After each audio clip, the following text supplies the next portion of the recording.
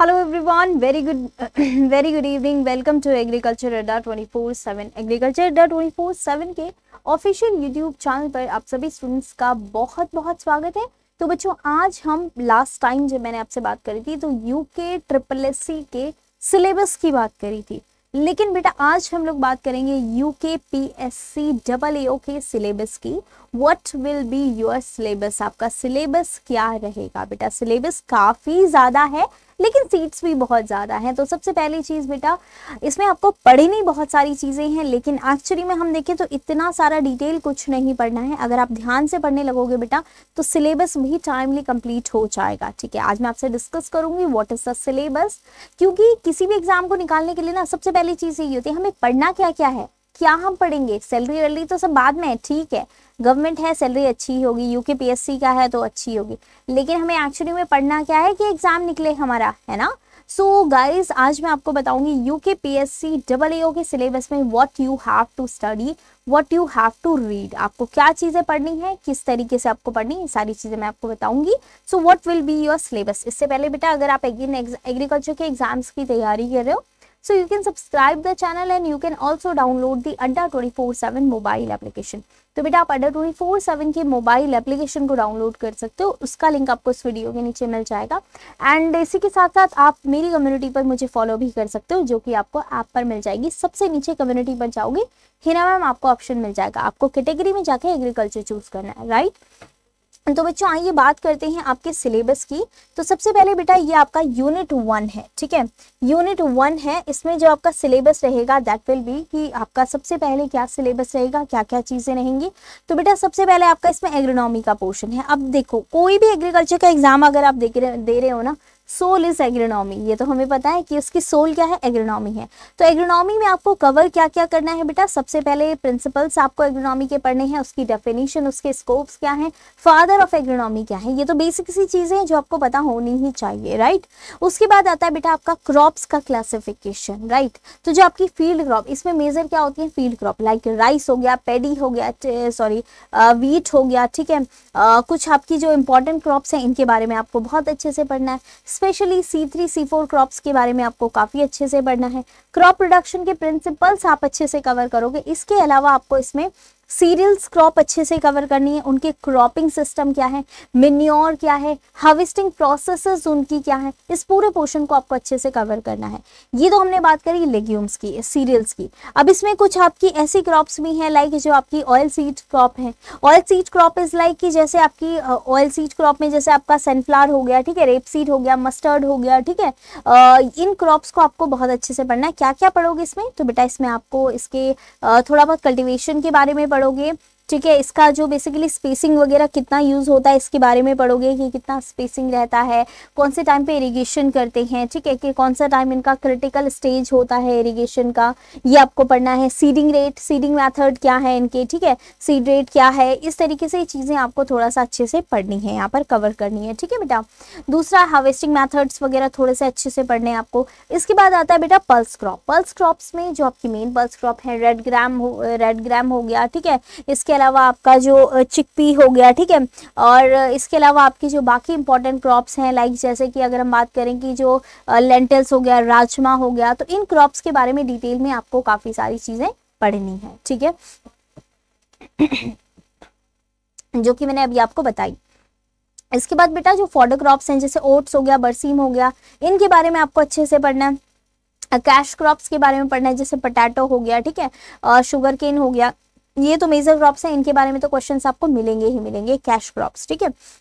Field crops, cash crops बहुत important है। ये पूछे ही पूछे जाते हैं बेटा। ऑयल सीड में दो तीन जैसे कि शुगर सॉरी जैसे कि सनफ्लावर आपसे पूछ लेता है, ठीक है? सनफ्लावर और जैसे कि आपका मस्टर्ड हो गया। ये दोनों क्रॉप्स सफिशियंट है वैसे, इनके बारे में ही सबसे ज़्यादा पूछ, पूछता है। अभी तक जो मैंने एग्जामिनेशन में देखा है, ठीक है? इसके अलावा बेटा आपको इसमें वेराइटीज अच्छे से पढ़नी है। कौन कौन सी वेराइटीज़ हैं कौन कौन सी अच्छी वेराइटीज़ है? इनके मैथड्स ऑफ़ सोइंग क्या है? किस तरीके से आप सोइंग करते हो? टाइमिंग ऑफ़ सोइंग क्या है? जिसमें हमारा अच्छा सोइंग हो सके, ठीक है? प्रोसेसिंग के बारे में आपको पढ़ना है। उसके बाद बेटा आता है सॉइल तो सॉइल में आपको क्या क्या चीज़ें पढ़नी है? टाइप ऑफ़ सॉइल्स के बारे में पढ़ोगे, ठीक है? ओरिजिन एंड क्लासिफिकेशन पढ़ोगे, जैसे कि डिफरेंट टाइप की सॉइल का लोमी सॉइल का एलुवियल सॉइल का सिल्ट क्ले लोम का, ठीक है?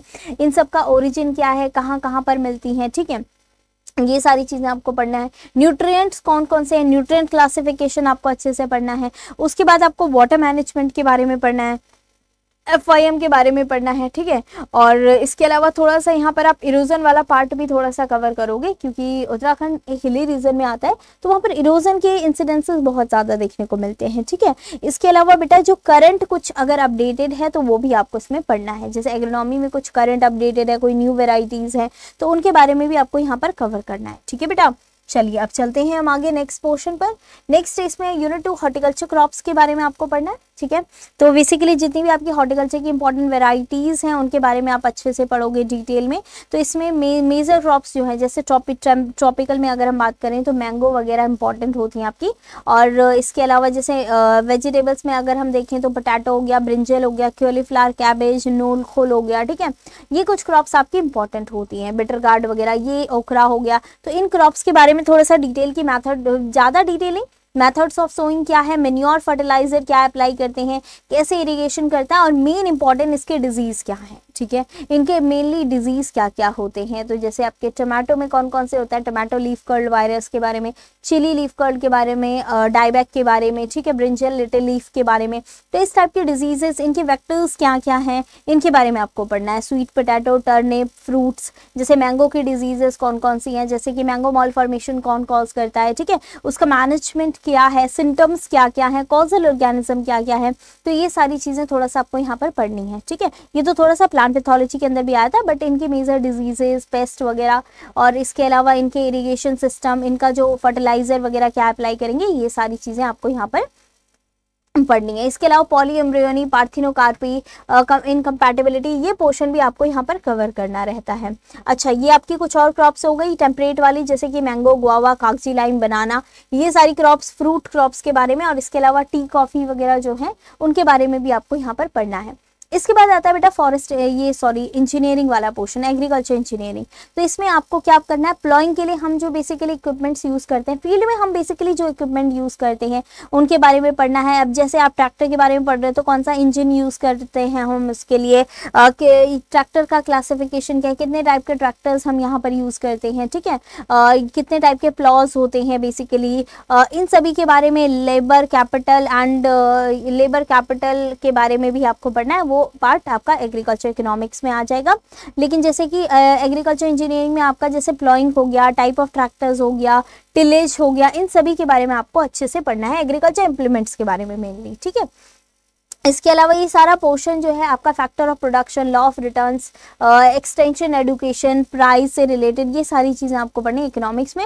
और एक्सटेंशन एडुकेशन में आपको पढ़ना है कि लाइक आपके डिफरेंट टाइप के प्रोग्राम जैसे लैब टू लैंड प्रोग्राम हो गई, जो डिफरेंट टाइप की स्कीम्स आती हैं, उनके बारे में आपको अच्छे से कवर करना है। एक्सटेंशन एडुकेशन क्या है? तो ये सारी चीज़ें आपको काफ़ी अच्छे से पढ़नी है, ठीक है? करंट में इसके लिए बुक हाँ एक काम कर सकते हो आप इसके लिए वैसे संदीप सर की अभी एक बुक आई है, वो आपको 199 में मिल जाएगी अभिषेक। बहुत अच्छी बुक है, उसमें सर ने सारे करंट अफेयर्स इंक्लूड किए हैं, आप उसको पढ़ सकते हो। और इसके अलावा आप एक काम और कर सकते हो, छोटी सी बुक है, बहुत अच्छी बुक है। इनफैक्ट उसमें स्कैनर है, अगर आप उसको स्कैन करोगे ना बुक को तो वहाँ से आप सर की वीडियोज़ तक भी पहुँच जाओगे, जो सर डेली देते हैं। तो नौ बजे, नौ या दस बजे के राउंड सर करंट अफेयर्स लेते हैं हमेशा, इसी चैनल पर। बेटा, आप उसको डेली देख सकते हो, उसमें आपको करंट अफेयर बहुत अच्छे अच्छे मिल जाएँगे, ठीक है? और बाकी आप संदीप सर की बुक ले सकते हो। 199 में आपको पतली सी और बहुत अच्छी सी पल्स करके वो बुक मिल जाएगी। लास्ट में बता दूँगी तो आप उस बुक को ले सकते हो that is very best book उसमें आपको करंट अफेयर सारे कंप्लीट अप टू डेट बहुत अच्छे से मिल जाएँगे अभी तक के, ठीक है? अब देखिए, ये है आपका हमारा एनिमल हस्बेंड्री का पोर्शन एनिमल हस्बेंड्री में बहुत इंपॉर्टेंट पार्ट है तो इसमें मेनली आपको ब्रीड्स के बारे में पढ़ना है, ठीक है? सबसे पहले तो आपको बेटा इसमें टर्मिनोलॉजी कवर करनी है बहुत अच्छे से। लाइक जैसे आज नाबार्ड का एग्जामिनेशन था, उसमें पूछा था कि स्टेटेड फीमेल पिक को क्या बोला जाता है? दूसरा फीमेल पिक को क्या बोला जाता है? ठीक है? पोल्ट्री से रिलेटेड क्वेश्चन थे। तो बेटा सेम ऐसे ही क्वेश्चन लगभग आपके पास पूछे जाते हैं। लाइक ब्रीड से रिलेटेड टर्मिनोलॉजी से रिलेटेड क्वेश्चन बहुत आते हैं इसमें, ठीक है? काउ बफेलो ब्रीड शिप और goat sheep and pigs mainly यही होता है जिसके बारे में पूछा जाता है। अच्छा इसके अलावा काओ और बफेलो के एनाटॉमी जैसे इनका स्टमक पोर्शन क्या हो, कैसा होता है? कौन सा ट्रू स्टमक पोर्शन है? ठीक है, इससे रिलेटेड क्वेश्चन रहते हैं। वैक्सीन और डिज़ीज़ से रिलेटेड आपको क्वेश्चन पढ़ने हैं, ठीक है? किस किस टाइम पे वैक्सीनेशन किया जाता है? कौन कौन सी डिजीजेस होती हैं, ठीक है? वो वो आपको अच्छे से यहाँ पर कवर करना है। कॉमन मेडिसिन कौन कौन सी हैं? प्रिवेंशन क्या क्या होते हैं? एनिमल डिजीजेस के अगेंस्ट मिल्क प्रोडक्शन क्या है? किस तरीके से होता है तो ये सारी चीज़ें आपको यहाँ पर मेजरली कवर कर कवर करनी है। After that milk and milk products के बारे में मिल्क की मिल्क के आ, जो फिजिको केमिकल प्रॉपर्टीज़ हैं उसके बारे में आपको पढ़ना है। क्वांटिटी ऑफ़ मिल्क मिल्क के लिए जो डिफरेंट टाइप के टेस्ट करे जाते हैं उनके बारे में आपको अच्छे से कवर करना है। Like M B R T methylene reduction test हम यूज़ करते हैं तो उसके बारे में आपको यहाँ पर अच्छे से कवर करना है। ठीक है तो ये पोर्शन हमारा एनिमल हस्बेंड्री का हो गया। आफ्टर दैट ये आपके मिल्क प्रोडक्ट्स और प्रोसेसिंग के बारे में है। इसके बाद आपका जो जेनेटिक्स वाला पोर्शन है, वो भी आपको अच्छे से कवर करना है like about the Mendel law right so you have to cover the Mendel law जो उसके डिफरेंट टाइप के लॉज हैं लॉ ऑफ़ सेग्रीगेशन है ठीक है? जो क्रोमोजोम uh, थ्योरी है उसके बारे में आपको अच्छे से कवर करना है। डीएनए एप्लीकेशन हो गया। इसके अलावा आपका जो uh, बाकी पोर्शन है इसमें लाइक like, अगर हम बात करें कि जो क्रॉसिंग uh, ओवर है सेल डिविजन वाला पोर्शन है स्पेसिफिकली तो वो आपको यहाँ पर बहुत अच्छे से कवर करना है। इसके अलावा एग्रीकल्चर स्टेटिस्टिक वाला पोर्शन भी है मीन मीडियन मोड उसमें ज़्यादा कवर नहीं करना। मीन मीडियन मोड वाला जो पोर्शन है और थोड़ा सा ब्लॉक डिज़ाइन वगैरह वो आपको अच्छे से पढ़ने हैं। इसके अलावा जो बायोकेमिस्ट्री का पोर्शन है, वो भी इसमें इंक्लूडेड है, जैसे डिफरेंट टाइप के वाइटामिन हो गया, ठीक है, उनके बारे में आपको पढ़ना है। इसके अलावा फ़ोटो पीरियोडिज्म जो क्रॉप फिजियोलॉजी वाला पोर्शन होता है, वो भी आपको इसमें पूरा कवर करना है। Circulatory system digestive system insect anatomy वगैरह आपको बहुत अच्छे से इसमें कवर करना है, ठीक है। नेक्स्ट आएगा बच्चों इसमें तो ये पूरा आपका इंसेक्ट्स का है एंटोमोलॉजी वाला पोर्शन है, ठीक है। इसमें आपको डिफरेंट टाइप के लाइक जो इसमें बैक क्रॉसिंग वगैरह भी है, और इसमें आपके इंसेक्टा के बारे में भी है। आप यहाँ पर देख सकते हो। दूसरा जेनेटिक्स वाला पोर्शन मतलब सारा कुछ इसमें इसमें जेनेटिक्स और एंटोमोलॉजी पूरा एक एक हिसाब से अगर मैं बोलूँ तो सारा इसमें इंक्लूड करके दे रखा है। ऑल्टरनेरिया प्लांट पैथोलॉजी का पोर्शन भी है। Diagnostic diagnostic characteristic of the genera like Phytophthora Peronospora Sclerospora तो मतलब सिलेबस काफ़ी सारा दे रखा है राइट और करंट भी है। इंसेक्ट पेस्ट मैनेजमेंट के बारे में भी आपसे पूछा गया है। तो ऑलमोस्ट अगर आप देखोगे ना तो इतने छोटे से में बहुत सारा सिलेबस उसने कवर किया but you have to be specific to cover this आपको बिल्कुल स्पेसिफिक होना है you have to cover precise in precise manner आपको बिल्कुल मतलब प्रिसाइजली कवर करना है, जितना हमारे पास टाइम है so we have to cover all the portion in that particular time तो हमें कुछ इस तरीके से कवर करना है कि हम उस पूरी चीज़ को एक पर्टिकुलर टाइम पीरियड में सारे पोर्शन को लगभग कवर कर सके और उसमें जो मेन इंपॉर्टेंट है। अब यहाँ पर सबसे ज़्यादा इंपॉर्टेंट है your strategy. What will be your strategy and what what will be be like daily routine to cover this syllabus तो आप कितने टाइम में उसको कवर कर रहे हो? और कौन सा स्पेसिफिक बोल यहाँ पर आपकी एक्यूरेसी पता चलती है। तो बेटा, यहाँ पर आपको एक्यूरेसी यूज़ करनी क्योंकि सिलेबस एक्चुअली बहुत बड़ा है। बट ये है कि जॉब भी आपका उतना ही अच्छा so you have to try for this क्योंकि बेटा, इसमें जो आपकी एक्यूरेसी है, वो सबसे ज़्यादा इंपॉर्टेंट है। जनरली स्टूडेंट्स का सबसे बड़ा एक्यूरेसी का प्रॉब्लम होता है। इसका आपको यहाँ पर थोड़ा सा ध्यान देना है। अब इसके बाद बायोलॉजी वाला पोर्शन है। अब कोई अगर मेरा इसमें ये साइटोलॉजी वाला पोर्शन है, इसमें डीएनए स्ट्रक्चर अब ये वही पोर्शन है। देखो, दिमाग लगाओगे तो वही पोर्शन है। जेनेटिक्स में जो पीछे था सेल डिवीज़न है क्रोमोसोमल थ्योरी है, ये पूरा वही पोर्शन है। आरएनए स्ट्रक्चर्स वगैरह सब कुछ वही तो उस पोर्शन को पढ़ लोगे तो ये पोर्शन कवर हो जाएगा। माइक्रोबायोलॉजी अब कोई अगर मेरी वीडियोस इसमें देख लेगा पेड वाली तो उसको ये माइक्रोबायोलॉजी का पोर्शन पढ़ने की अलग से ज़रूरत नहीं है। प्लांट पैथोलॉजी में मैंने सारा ये कवर किया बैक्टीरिया बैक्टीरिया के reproduction fungal reproduction fungal classification viral viral application viral classification सारी चीज़ें मैंने उसमें कवर कर रखी है तो आपको सारा ये उसी में मिल जाएगा। अलग से पढ़ने की ज़रूरत नहीं पड़ेगी। After that fungus fungus and plant pathology तो ये भी मैंने बहुत अच्छे से पढ़ा, पढ़ाया है। फंगल प्लांट फंगल डिजीजेस के बारे में फंगल क्लासिफिकेशन फंगल रिप्रोडक्शन के बारे में राइट तो ये सारी चीज़ें मैंने उसमें कवर कर रखी है। तो अगर आप देखोगे ना तो पुराना जो पोर्शन है, लगभग उस, इसी में कवर्ड है। ये प्लांट पैथोलॉजी माइक्रोबायोलॉजी और फंगल ये फंगल एंड प्लांट पैथोलॉजी पूरा एक साथ ही कवर्ड है। अगर आप इसको एक साथ कवर करोगे तो बहुत ज़्यादा टाइम नहीं, इस हार्डली आपको सेवन टू टेन डेज़ लगेंगे इसको cover seven to ten days भी नहीं इनफैक्ट सेवन डेज़ आपको इसमें लगेंगे कवर करने में।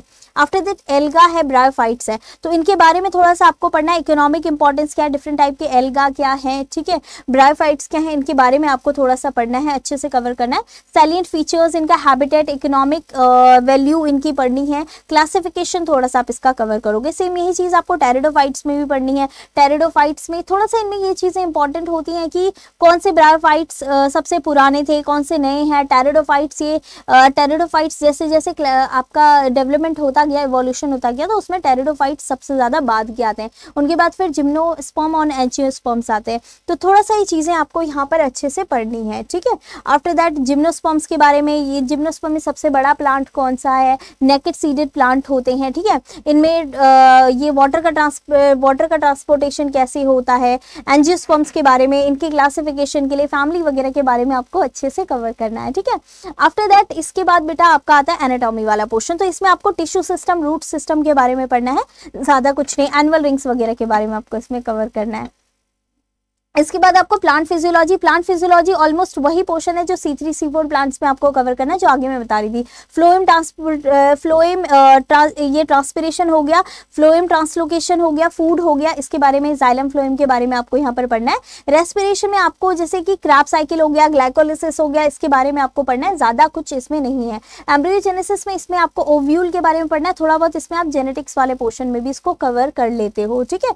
बाकी प्लांट ग्रोथ मॉर्फोजेनेसिस के बारे में सीड जर्मिनेशन के बारे में इकोलॉजी में इकोलॉजी में फ़ूड चेन फ़ूड वेयर वगैरह जो जनरली हम पढ़ते हैं, इसके अलावा जो आपकी ये डिफरेंट टाइप की साइकिल्स होती हैं, इनके बारे में आप सॉयल साइंस में भी पढ़ते हो राइट तो ये सारी चीज़ें आपको अच्छे से पढ़नी है। आफ्टर दैट ये आपका, ये टॉक्सिकोलॉजी वाला पोर्शन है बायोडाइवर्सिटी वाला पोर्शन है वाइल्ड लाइफ हैबिटेट तो ये आप फॉरेस्ट्री वाले पोर्शन में भी कवर करते हो। तो ज़्यादा टफ नहीं है इसमें। इकोनॉमिक बॉटनी में इकोनॉमिक बॉटनी में आपका वो वाला पोर्शन आएगा लाइक इसमें स्पेसिफिकली उत्तराखंड पे थोड़ा सा फोकस करा गया है। में जो फ्रूट्स होते हैं, जैसे बुरांस वगैरह होता है तो बुरांस का जूस निकाला जाता है राइट काफल होता है, उसका यूटिलाइजेशन कैसे होता है? तो इस तरीके से थोड़ा बहुत चीज़ें आपको यहाँ पर कवर करनी है और कुछ और भी एक्स्ट्रा क्रॉप्स है यहाँ पर आपकी, ठीक है? इसके बाद जेनेटिक्स वाला पोर्शन है तो जेनेटिक्स देखो कितनी बार रिपीटेड है राइट तो यहाँ पर भी आपको सेम यही चीज़ें कवर करनी है म्यूटेशन वगैरह। After that plant breeding plant breeding में भी आपको यही चीज़ें कवर करनी है एक्लेमेटाइजेशन इसके अलावा आपका जो पोर्शन आता है हाइब्रिडाइजेशन हाइब्रिड विगर तो ये चीज़ें आप ऑलरेडी जो पढ़ चुके हो, वो ही दोबारा आपसे पूछा गया। जियोलॉजी में जियोलॉजी में बेसिकली आपका जो इवोल्यूशन वाला पोर्शन है जेनेटिक ड्रिफ्ट हो गया आ, ये आपका हार्डी विनबर्ग लॉ हो गया ठीक है? तो ये पोर्शन आपको कवर करना है। ये ऑलरेडी आप किसमें पढ़ते हो? प्लांट ब्रीडिंग में पढ़ते हो तो दोबारा यहाँ पर इंक्लूडेड है ठीक है? डाइवर्सिटी जो है लिविंग ऑर्गेनिज्म की तो इसमें क्लासिफिकेशन है थोड़ा सा ये थोड़ा सा डिफरेंट है। इसमें आपको डिफरेंट टाइप के जो लाइक जैसे हम पढ़ते हैं ना कॉर्डेटा के बारे में और डिफरेंट टाइप का जो क्लासिफिकेशन है उसके बारे में आपको यहाँ पर पढ़ना है। जैसे आप, आपके ड्यूटेरास्टोमा है कॉर्डेटा है नॉन कॉर्ड डेटा है। इनके बारे में यहाँ पर आप पढ़ोगे नॉर्मल वगैरह आपको पढ़ना है, ठीक है? एनिमल टिश्यू सिस्टम के बारे में आपको पढ़ना है प्रोटोजोवास इकाइनोडर्मेटा इनके बारे में पढ़ना है। थोड़ा सा हम इलेवन ट्वेल्थ में जो पढ़ते हैं, लगभग उसी लेवल का आपको पढ़ना है, ज़्यादा नहीं पढ़ना। इसके अलावा पेरीपेटस तो ये सारा आपका जुलॉजी वाला पोर्शन है मोलस्क वगैरह के बारे में। मोलस्क के बारे में आप एंटेमोलॉजी में भी पढ़ते हो तो लगभग वही पोर्शन है, ठीक है? कॉर्डेटा की एनाटॉमी वगैरह आपको यहाँ पर थोड़ा सा डिटेल में पढ़नी है, ठीक है? ये आपके इम्पल्स वगैरह नर्व इम्पल्स के बारे में आपको पढ़ना है। इसके बाद बेटा डेवलपमेंटल बायोलॉजी तो डेवलपमेंटल बायोलॉजी थोड़ा सा डिफरेंट पोर्शन है, जो आप जो आप डायरेक्टली ये एग्रीकल्चर में नहीं पढ़ते हो। तो इसमें आपके गैमेट गैमेटोजेनेसिस ये पोर्शन तो आप पढ़ते हो फर्टिलाइजेशन भी आप पढ़ते हो, ठीक है? इसके अलावा आप प्लेसेंटेशन जो है मैमल्स में, उसको हम नहीं पढ़ते हैं। तो मैमल्स में जो प्लेसेंटेशन है ब्लास्टुलेशन है, इसके अलावा ब्लास्टूला है, किस तरीके से बनता है एम्ब्रियो किस तरीके से बनता है, ये सारी चीज़ें थोड़ा सा नहीं है तो ये आपको थोड़ा सा अलग से पढ़ना है। एनिमल बिहेवियर एनिमल बिहेवियर में बहुत सारी चीज़ें जो आपको पढ़नी है, ठीक है? लर्निंग बिहेवियर कैसा होता है? इन्नेट जो रिलैक्सिंग रिलीजिंग मैकेनिज्म है वो क्या है? बायोलॉजिकल क्लॉक्स क्या होती है? Migration in fission fishes and birds क्यों होता है? कैसे होता है? ये पोर्शन आपको यहाँ पर कवर करना है। एनिमल बिहेवियर में में मैंने ऑलरेडी आपको बता दिया, इसके बाद इकोनॉमिक जियोलॉजी है तो इकोनॉमिक जियोलॉजी में बेसिकली इंसेक्ट पेस्ट मैनेजमेंट आपको अच्छे से पढ़ना है। यहाँ पर कुछ बेनिफिशियल प्रोटोजोवास और हार्मफुल प्रोटोजोवास जैसे कि चियाडिया लेम्बलिया है तो ये क्या होता है? हार्मफुल प्रोटोजोवा होता है इन्फेक्शन कॉज करता है। बट इसमें कुछ बेनिफिशियल भी होते हैं तो उनके बारे में आपको पढ़ना है। एंटमीबा है इसके अलावा आपका टीनिया सोलिनम है तो ये डिज़ीज़ कॉज करने वाले होते हैं। इनके बारे में आपको डिटेल में पढ़ना है। बायोस्टेटिस्टिक में जो बेसिकली स्टार्ट में जो चीज़ें हैं आपकी, जैसे कोफिशियंट के बारे में आपको पढ़ना कोफिशियंट कोफिशिएंट ऑफ़ कोरिलेंस काई टेस्ट टी टेस्ट इनके बारे में आपको पढ़ना है। ये जनरली आप बैचलर्स में भी पढ़ते हो ना?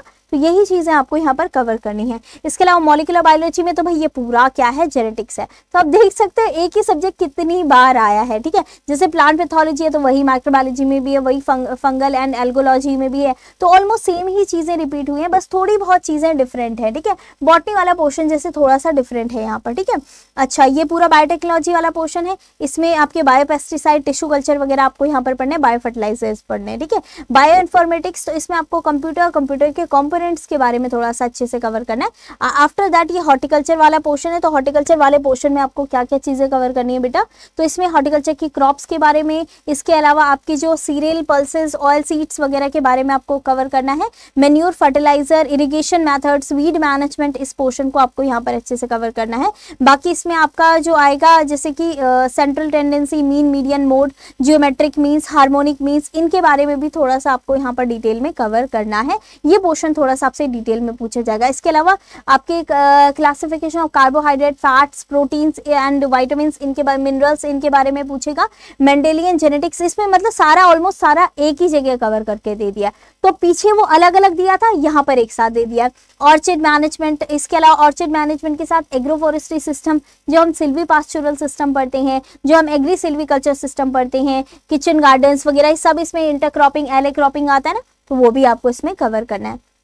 आफ्टर दैट इसमें फ़ील्ड क्रॉप्स के फ्रूट क्रॉप्स के बारे में आपको पढ़ना है। फ्रूट क्रॉप्स में जैसे कि उनके जो प्लांटिंग वगैरह करते हैं, किस तरीके से करते हैं कौन कौन सी फ्रूट्स क्रॉप के हॉर्टिकल्चर क्रॉप्स का क्लासिफिकेशन टेम्परेट ट्रॉपिकल क्या क्या है जीरोमिक क्लासिफिकेशन क्या है, क्या इंपॉर्टेंस है कौन कौन से न्यूट्रिएंट्स होते हैं कौन कौन से वाइटामिन होते हैं कौन कौन से क्लाइमेटिक कंडीशन में होते हैं सॉयल रिक्वायरमेंट इनकी क्या है पीएचडी पोस्ट हार्वेस्ट मैनेजमेंट इनका कैसा है तो ये आपके पास क्रॉप्स ऑलरेडी दे रखे हैं, इनके बारे में आपको पढ़ना है। हार्वेस्टिंग इंडेक्स क्या है मैथड्स क्या है ग्रेडिंग पैकेजिंग कैसे होता है, जैसे सपो, सपोटा सिट्रस पपाया इनको बेसिकली किस तरीके से आगे यूज़ करा जाता है पोस्ट हार्वेस्ट मैनेजमेंट में, ठीक है?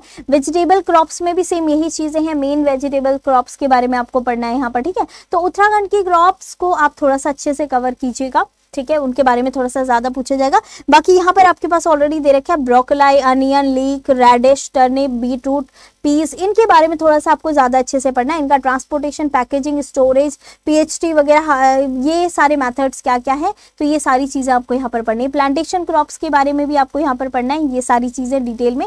ट्रेनिंग प्रूनिंग हैंडलिंग कैसे होता है पीएचटी क्या है, उनका पोस्ट हार्वेस्ट मैनेजमेंट अगर हम करते हैं ग्रोथ कंट्रोल ग्रोथ रेगुलेटर्स क्या क्या होते हैं, ठीक है? तो ये सारी चीज़ें आपको यहाँ पर अच्छे से कवर करनी है। After that medicinal aromatic plant तो भाई मेडिसिनल एरोमेटिक प्लांट में तो हमारे वही प्लांट आते हैं, जो हमारे हमारे मेडिसिनली काफ़ी ज़्यादा इंपॉर्टेंट है। जैसे जेंशियाना कुरवा हो गया, ठीक है, बहुत सारे प्लांट्स हैं तो इसमें जो दे रखे हैं, वो आपको पढ़ना है। जैसे लेवेंडा हो गया, खसखस ग्रास हो गया, ठीक है सिट्रोनेला हो गया पेरीविंकल हो गया बिटल तो उत्तराखंड में ऑलमोस्ट जितने भी मेडिसिनल प्लांट है, ये उत्तराखंड में होते हैं ठीक है। तो इनके बारे में थोड़ा सा आपको अच्छे से पढ़ना है कि इनका प्रोपगेशन मैथड क्या नर्सरी टेक्निक क्या है। इनके कल्टिवेशन के बारे में लगभग आप अच्छे से पढ़ लेना कि कौन से एरियाज़ में होते हैं, क्या इनके मेडिसिनल यूज़ है, इनमें कॉन्स्टिट्यूएंट ऐसा क्या होता है जो इनको यूज़ करा जाता है। जैसे अगर हम रॉवल्फ या सरपेंटिना की बात करें तो उसमें सरपेंटाइन होता है है ना? तो विथीनिया सोमनीफेरम है तो इसमें क्या होता है? तो इसके बारे में आपको अच्छे से पढ़ना है कौन कौन सी लोकेशन पर होते हैं वाटर मैनेजमेंट क्या है न्यूट्रिएंट मैनेजमेंट क्या ट्रेनिंग प्रूनिंग कैसे करते हैं, इनकी सॉइल रिक्वायरमेंट क्या है, ठीक है? डिस्ट्रीब्यूशन वगैरह क्लाइमेटिक कंडीशन इनके बारे में आपको, और इनके प्रोसेसिंग कैसे होती है, कैसे इनका यूज़ करा जाता है, ये आपको पढ़ना है। स्पाइसेस में भी सिमिलरली वीट कंट्रोल के बारे में प्रोपोगेशन मैथड क्लासिफिकेशन ठीक है? कौन से एरिया में मिलते हैं मल्चिंग और बेसिकली उनकी क्रॉप कवर क्रॉपिंग कैसे करी जाती है? तो इन सब इन सब के method of extraction essential essential oil oleoresins इन सब के बारे में बेटा आपको यहाँ पर पढ़ना है। और आफ्टर दैट आता है आपका फ्लोरिकल्चर तो फ्लोरिकल्चर में जो इंपॉर्टेंट फ्लावर्स हैं, जैसे ग्लैडियोलस है, इसके अलावा आपका जो बाकी इंपॉर्टेंट फ्लावर्स हैं, डहेलिया हो गया जैस्मिन हो गया, ठीक है? कार्नेशन हो गया ऑर्किड्स हो गया, जैसे आज कार्नेशन का बोटानिकल नेम पूछा गया था नाबार्ड में, ठीक है? तो इस तरीके से क्वेश्चंस आपके पास भी आ सकते हैं कि बोटानिकल नेम पूछ लिया, उसका यूज़ पूछ लिया, ठीक है? उसका डिस्ट्रीब्यूशन आपसे पूछ लिया। तो इस टाइप के उनका सीड रेट पूछ लिया ड्राइंग पूछ ड्राइंग ऑफ़ फ्लास के बारे में पल्सिंग के बारे में डिहाइड्रेशन के बारे में आपसे पूछ सकता है। तो ये सारी चीज़ें आपको कवर करनी है। ऑर्नामेंटल गार्डनिंग एंड लैंडस्केपिंग के बारे में आपको यहाँ पर कवर करना है। तो बेटा ये पूरा का पूरा जो पोर्शन है, यहाँ पर आप देख सकते हो प्रोपोगेशन एंड नर्सरी मैनेजमेंट के बारे में भी आपको पढ़ना है। ठीक है माइक्रोग्राफ्टिंग क्या होता है हार्डनिंग ऑफ़ प्लांट्स क्या होता है रजिस्ट्रेशन क्या ये बेसिकली क्या क्या चीज़ें यहाँ पर। नेट्स क्या होते हैं कोल्ड कोल्ड फ्रेम्स क्या क्या होते हैं? तो इनके बारे में आपको यहाँ पर कवर करना है। पोस्ट हार्वेस्ट मैनेजमेंट जैसे कि किस तरीके से करा जाता है? केमिकल चेंजेस क्या क्या होते हैं? इसके अलावा फार्म जो आपके टूल्स एंड इम्प्लीमेंट्स जो यूज़ होते हैं बेसिकली हॉर्टिकल्चर में वो क्या क्या हैं? इनके बायोकेमिकल और फिजियोलॉजिकल क्या क्या चेंजेस होते हैं? पैकेजिंग मेथड्स क्या क्या हैं? तो ये आपको यहाँ पर पढ़ना है, क्योंकि इसमें मेनली यही होता है कि जैम जेलिंग वगैरह किस किस तरीके से बनाया जाता है। तो बेटा ये सारी चीज़ें आपको यहाँ पर अच्छे से पढ़नी है। ठीक है? तो बेटा, ये यूके पीएससी का तो अभी कोई बैच है नहीं फ़िलहाल।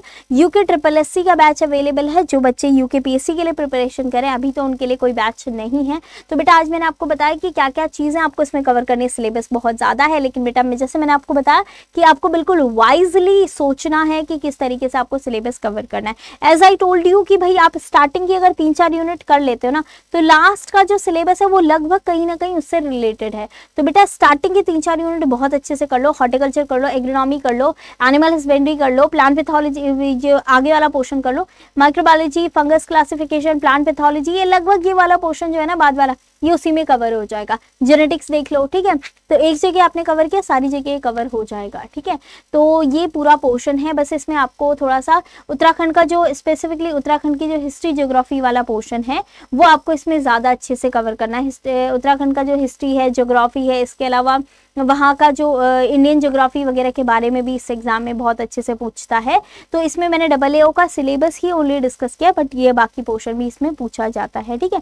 Ma'am I B P S F O के मेंस के बैच में soil science crop physiology plant pathology की क्लासेस नहीं शो हो रही है मेरे में। अंश विश्वकर्मा ओके बेटा अगर ये क्लासेस आपके पास शो नहीं हो रही हैं तो जल्दी शो हो जाएँगी आपके पास। आपने कौन सा बैच लिया था? एक बार वो आप बता दीजिएगा।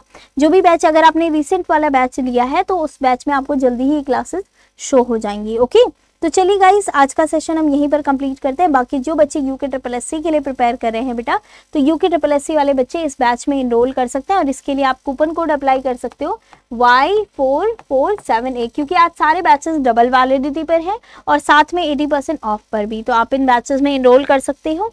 और इसके इनरोल करने के लिए आप क्या कर सकते हो बेटा, आपको जाना है गूगल पर, ठीक है? गूगल पे जाओगे तो आपको यहाँ पर Adda twenty four seven type करना है। जब आप टाइप करोगे अडा ट्वेंटी फोर सेवन तो आपके पास ये आएगा। आप जैसे इस पर क्लिक करोगे ऑल कोर्सेज पर जाओगे एग्रीकल्चर पर जाओगे एग्रीकल्चर वहाँ पे आपको मिल जाएगा। इसी के साथ साथ आपको यहाँ पर नीचे सॉरी उत्तराखंड एग्री एग्ज़ाम्स मिल जाएगा। तो ये है, अभी डबल वैलिडिटी पर है, ये डबल वैलिडिटी जल्दी खत्म हो जाएगी। तो लगभग वन ईयर का ये बैच है। ठीक है? और आपको ये 12 प्लस ट्वेल्व यानी कि टू ईयर्स के लिए मिल जाएगा तो इसमें आपको बाई नाउ पे जाके यहाँ पर कूपन कोड लगाना है Y four four seven A तो आपको इसमें only three thousand two hundred sixty five में बैच अवेलेबल हो जाएगा। ओके ट्वेल्थ सेप्टेम्बर बेटा, जल्दी शो हो जाएगा। डोंट वरी कई बार होता है ना कि क्लासेस लेट शो होती हैं बट वैसे आप एक बार एक काम कीजिएगा सपोर्ट पे भी मेल कर दीजिएगा, ठीक है? तो वहाँ से भी आपको इसमें हेल्प मिल जाएगी, ठीक है? तो चलिए गाइज़ मिलेंगे आपसे अगले सेशन में। अपना ख्याल रखिएगा। Bye thank you have a nice day